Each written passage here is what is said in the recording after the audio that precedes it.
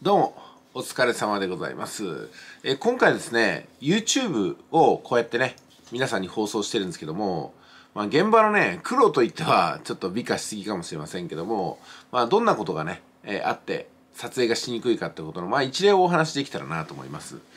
えー、まあ当然ですけども今カメラがスマートフォンに入っていて撮影はしやすい環境ですよね。まあでも思いのほか YouTube で発信する方って増えていかないんですよ。まあというのがねいきなり撮影を始めて周りの人が結構気を使うっていうところがあってなかなかね私たちが自由に撮影できる環境とかそれから人付き合いっていうのは作りにくいのが現状です。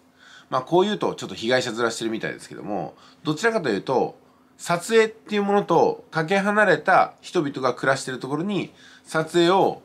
なりわいとする身近にしているものがポンとね異星人のように来るわけですからまあ和を乱してるのはね私たち YouTube を撮影する側なんですよね。まあその中で、まあ、例えばですけども私がねまあ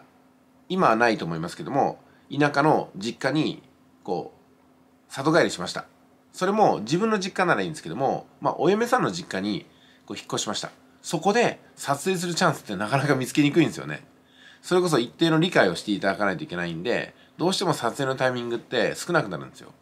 今はこうやってね深夜私は自宅で撮影してますけどもでも他のお宅に行って深夜撮影し始めたらやっぱり何やってんだろうみたいな感じになっちゃいますよね。でそれで私が話し始めると話しかけていいもんかどうかわからないですし撮影の邪魔になるのかなっていうところもあるんでなかなかこれもねやきもくするとこじゃないかなと思うんですよ。それは想像がつくんですよね。ある時私がねあの47都府県オフ会っていうのがありまして、うん、一つのね会員宿泊所に泊まったんですよ。そこはあのベッドこそ個室なんですけどもまあトイレもお風呂も共同でそれからあのダイニングも共同なんですよ。要するに食事をとるところね。で深夜3時ぐらいに共用スペースの食事をするところに行って撮影を始めたんですけどもやっぱりね深夜起きてくる方がなんかご飯を食べようと思ってこう降りてきたんですよね。そしたら私が撮影してるのを見てやっぱ戻っていったんですよ。その時私撮影しながらあ悪いことしたなと。これは独占してるような状態になっちゃったかなと思ってちょっと撮影がねそれ以降できなくなっちゃったんですよね。まあそういったところもあるんでやっぱねこの撮影がなりわいとなる時っていうのは